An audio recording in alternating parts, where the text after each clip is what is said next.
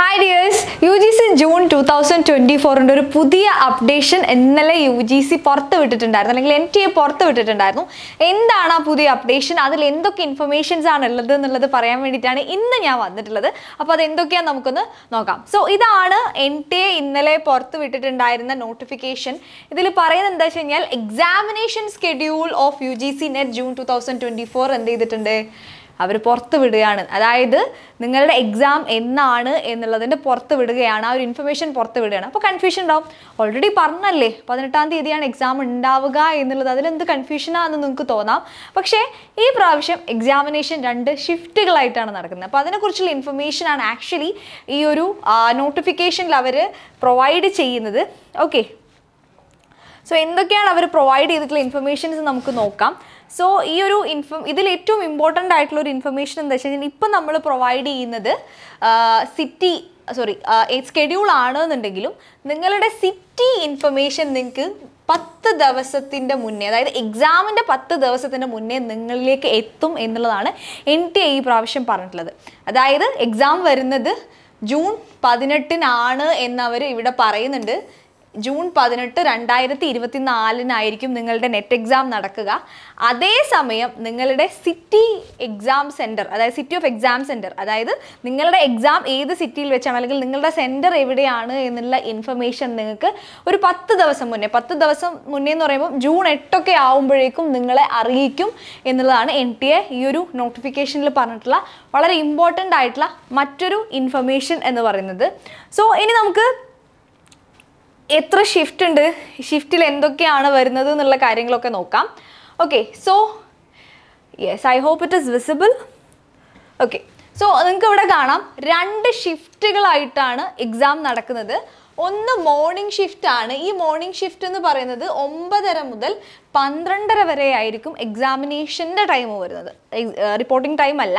Exam conduct ചെയ്യുന്ന സമയം എന്ന് പറയുന്നത് ഒമ്പതര മുതൽ പന്ത്രണ്ടര വരെ ആയിരിക്കും. ഇനി രണ്ടാമത്തെ ഷിഫ്റ്റ് എന്ന് പറയുന്നത് ഈവനിങ് ഷിഫ്റ്റ് ആണ്. മൂന്ന് മണി മുതൽ ആറ് മണി വരെ ആയിരിക്കും ഈ ഷിഫ്റ്റ് വരിക. അപ്പോൾ പതിനെട്ടാം തീയതിയാണ് എക്സാം വരുന്നത്. രണ്ട് ഷിഫ്റ്റ് ആയിട്ടാണ് വരുന്നത്. ഷിഫ്റ്റ് വൺ എന്ന് പറയുന്നത് മോർണിംഗ് ഒമ്പതര മുതൽ പന്ത്രണ്ട് മണി വരെ ആയിരിക്കും അല്ലെങ്കിൽ പന്ത്രണ്ടര വരെ ആയിരിക്കും. ഇനി രണ്ടാമത്തെ ഷിഫ്റ്റ് എന്ന് പറയുന്നത് ഉച്ചയ്ക്ക് അല്ലെങ്കിൽ ഉച്ചയ്ക്ക് ശേഷം മൂന്ന് മണി മുതൽ ആറ് മണി വരെ ആയിരിക്കും. ഇനി മോർണിംഗ് ഷിഫ്റ്റിൽ വരുന്ന സബ്ജക്റ്റുകൾ ഏതൊക്കെയാണ് നമുക്കൊന്ന് നോക്കാം. Okay so here you can see history മോർണിംഗിൽ വരുന്നത് ഫിലോസഫി ഹിസ്റ്ററി മോർണിംഗ് ഷിഫ്റ്റിലാണ് വരുന്നത്. ഓക്കെ ഹിസ്റ്ററി മോർണിംഗ് ഷിഫ്റ്റിലാണ് വരുന്നത്. കൊമേഴ്സ് മോർണിംഗ് ഷിഫ്റ്റിൽ ഷിഫ്റ്റാണ് സോഷ്യൽ വർക്ക് മോർണിംഗ് ഷിഫ്റ്റാണ് അപ്പോൾ ഏറ്റവും കൂടുതൽ ആളുകൾ എഴുതുന്ന ചില സബ്ജക്റ്റുകളിൽ ഒന്നാണ് ഇതൊക്കെ.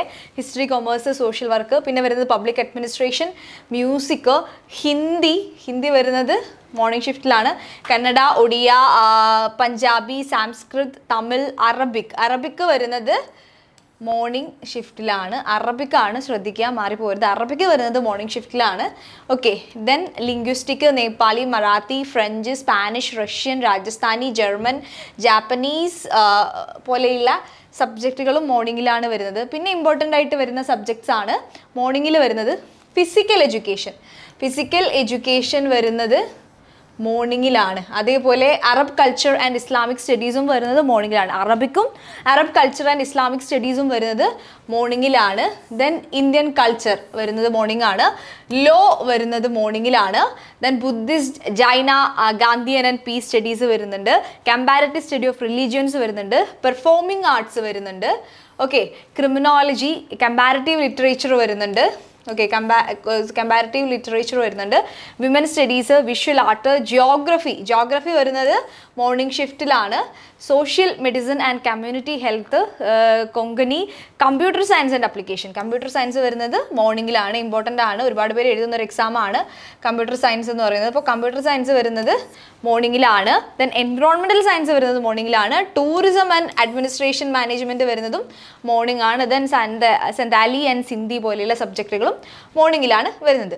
ഓക്കെ അപ്പോൾ മോർണിംഗ് വരുന്ന സബ്ജക്റ്റുകളെ കുറിച്ച് നമുക്ക് ഒരു ഐഡിയ കിട്ടിയിട്ടുണ്ടാവും. നമുക്ക് ഈ ഒരു P D F actually NET N T എയുടെ വെബ്സൈറ്റിൽ നിങ്ങൾക്ക് ഇത് അവൈലബിൾ ആണ്.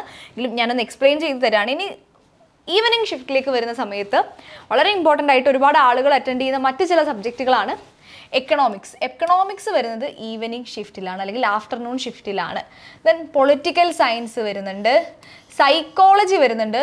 സോഷ്യോളജി വരുന്നത് ഈവനിങ് ഷിഫ്റ്റിലാണ്. ആന്ത്രപ്പോളജി എഡ്യൂക്കേഷൻ എഡ്യൂക്കേഷൻ വരുന്നത് ആഫ്റ്റർനൂൺ ആണ്. Def defence and strategy studies വരുന്നുണ്ട്. ഹോം സയൻസ് വരുന്നുണ്ട്. പോപ്പുലേഷൻ സ്റ്റഡീസ് വരുന്നുണ്ട്. ആൻഡ് മാനേജ്മെന്റ് വരുന്നത് ആഫ്റ്റർനൂൺ ആണ്. അതായത് മൂന്ന് മണിക്കാണ്. മറാത്തി ബംഗാളി ആൻഡ് മലയാളം. മലയാളം സബ്ജക്റ്റ് ആയിട്ട് എടുത്തിട്ടുള്ളവർ നിങ്ങൾക്ക് വരുന്നത് ഉച്ചയ്ക്ക് ശേഷമാണ്. തെലുങ്ക് ഉറുദു ഇംഗ്ലീഷ്. ഇംഗ്ലീഷ് വരുന്നതും ആഫ്റ്റർനൂൺ ആണ് Chinese Dogri Manipuri Assamese Gujarati and Persian പോലെയുള്ള സബ്ജക്റ്റുകൾ വരുന്നത് സോ ഇമ്പോർട്ടന്റ് ആയിട്ടുള്ള സബ്ജക്റ്റുകളാണ് economics political science psychology sociology education management Malayalam English ഒക്കെ വരുന്നത്. ഉച്ചയ്ക്ക് ശേഷമാണ് ഇനി വരുന്ന സബ്ജക്ട്സ് ആണ്. ഓക്കെ യെസ് ദെൻ വരുന്ന സബ്ജക്റ്റുകളിൽ ഇമ്പോർട്ടന്റ് ആയിട്ടുള്ള സബ്ജക്റ്റ് വരുന്നത് Gujarati Persian labour welfare library science വരുന്നത് ലൈബ്രറി ആൻഡ് ഇൻഫർമേഷൻ സയൻസ് വരുന്നത് ഉച്ചയ്ക്ക് ശേഷമാണ് then M C J mass communication and journalism വരുന്നതും ഉച്ചയ്ക്ക് ശേഷമാണ് മ്യൂസിയോളജി ആൻഡ് കൺസർവേഷൻ ആർക്കിയോളജി വരുന്നുണ്ട്. ഉച്ചയ്ക്ക് ശേഷമാണ് ആർക്കിയോളജി വരുന്നത്. ട്രൈബൽ ആൻഡ് റിലീജിയ റീജിയണൽ ലാംഗ്വേജ് ലിറ്ററേച്ചർ വരുന്നുണ്ട്. Folk literature Sanskrit traditional forensic science Pali Kashmiri electronic science politics including international ഉച്ചയ്ക്ക് ശേഷമാണ് പ്രാ പ്രാകൃതിക് ഉച്ചയ്ക്ക് ശേഷമാണ് ഹ്യൂമൻ റൈറ്റ്സ് ആൻഡ് ഡ്യൂട്ടീസ് വരുന്നത് ഉച്ചയ്ക്ക് ശേഷമാണ് Bodo yoga Hindu studies and Indian knowledge system എന്ന് പറഞ്ഞിട്ടുള്ള ഇത്രയും സബ്ജക്റ്റുകളാണ് ഉച്ചയ്ക്ക് ശേഷം വരുന്നത്. ഓക്കെ സോ ഇപ്പോൾ ഏകദേശം ഒരു ഇൻഫർമേഷൻ നിങ്ങൾക്ക് ഏതൊക്കെ സെന്റേഴ്സ് എവിടെയൊക്കെയാണ് വരുന്നത് ഏതൊക്കെ സബ്ജക്റ്റ് എവിടെയൊക്കെയാണ് വരുന്നത് അല്ലെങ്കിൽ ഏത് ഷിഫ്റ്റിലാണ് വരുന്നത് എന്നുള്ളതിനെ കുറിച്ച് നിങ്ങൾക്ക് കിട്ടിയിട്ടുണ്ടാവും. ഇനി സിറ്റി ഇൻഫർമേഷൻ നിങ്ങൾക്ക് ഒരു എട്ടാം തീയതിയൊക്കെ ആകുമ്പോഴേക്കും നിങ്ങൾക്ക് പ്രൊവൈഡ് ചെയ്യും. അവിടെ നിങ്ങൾക്ക് കാണാം. സിറ്റീസ് മിക്കവാറും നിങ്ങൾക്ക് പ്രൊവൈഡ് ചെയ്യുക കോഡുകളായിട്ടായിരിക്കും. ഇവിടെ തന്നെ നിങ്ങൾക്ക് കാണാം സബ്ജക്ട് കോഡ് പറഞ്ഞിട്ട് കോഡ് കൊടുത്തിട്ടുണ്ട്. ഇത് എവിടുന്നാണ് വരുന്നത് വെച്ച് കഴിഞ്ഞാൽ നമുക്ക് ആദ്യം തന്നിട്ടുള്ള ഇൻഫർമേഷൻ ബുള്ളറ്റിൻ ഞാൻ മുന്നത്തെ വീഡിയോയിൽ പറഞ്ഞിട്ടുണ്ടായിരുന്നു. ഇൻഫർമേഷൻ ബുള്ളറ്റിൻ ഡൗൺലോഡ് ചെയ്ത് വെക്കാൻ അതിൽ ഈ ഒരു കോഡുകൾ നിങ്ങൾക്ക് കാണാൻ കഴിയും.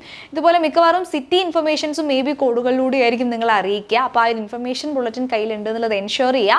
ദെൻ എല്ലാവരും ഒരു ഫൈനൽ റിവിഷന്റെ സമയത്താണെന്നറിയാം അപ്പോൾ ഐഫർ എഡ്യൂക്കേഷൻ നിങ്ങളുടെ കൂടെ തന്നെയുണ്ട് ഡെയിലി ഈവനിങ്ങിൽ പേപ്പർ വണ്ണിന്റെ റിവിഷൻ ലൈവ് സെഷൻസ് നടക്കുന്നുണ്ട്. അതുപോലെ മറ്റു പല സബ്ജക്റ്റുകളിലുമായിട്ട് മാരത്തോൺസ് നടന്നുകൊണ്ടിരിക്കുകയാണ്. അപ്പോൾ ഇന്ന് കൊമേഴ്സിന്റെ മാരത്തോണൊക്കെ ഉണ്ട്. ദെൻ പേപ്പർ വണ്ണിന്റെ ഒരു മാരത്തോണും അപ്കമിങ് ആണ്. അപ്പോൾ എല്ലാവരും ഇതിന്റെ ഡിസ്ക്രിപ്ഷനും ഗൈഡൻസ് ഗ്രൂപ്പിന്റെ ലിങ്കൊക്കെ നമ്മൾ ഈ ഒരു വീഡിയോന്റെ അണ്ടറിൽ പ്രൊവൈഡ് ചെയ്തിട്ടുണ്ട്. ഡെയിലി ലൈവിന്റെ കാര്യങ്ങളും ഫ്രീ ഡെയിലി പ്രാക്ടീസ് ടെസ്റ്റിന്റെ ലിങ്കും ഒക്കെ നമ്മൾ ഈ ഒരു വീഡിയോന്റെ അണ്ടറിൽ പ്രൊവൈഡ് ചെയ്തിട്ടുണ്ട്. അപ്പോൾ എല്ലാവരും അടിപൊളിയായിട്ട് പഠിക്കുക. ഈ പ്രാവശ്യത്തെ നെറ്റ് എക്സാം ഇമ്പോർട്ടന്റ് ആണ്. നമുക്ക് പി എച്ച് ഡിക്കും ജെ ആർ എഫിനും നെറ്റിനും ഒക്കെ ഒരു എക്സാം എഴുതിയാൽ മതി. അപ്പോൾ നല്ലപോലെ പ്രിപ്പയർ ചെയ്യുക. All the best